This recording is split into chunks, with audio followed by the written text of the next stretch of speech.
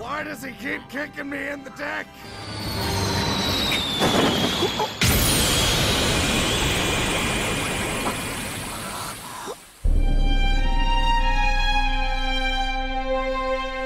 Why didn't you?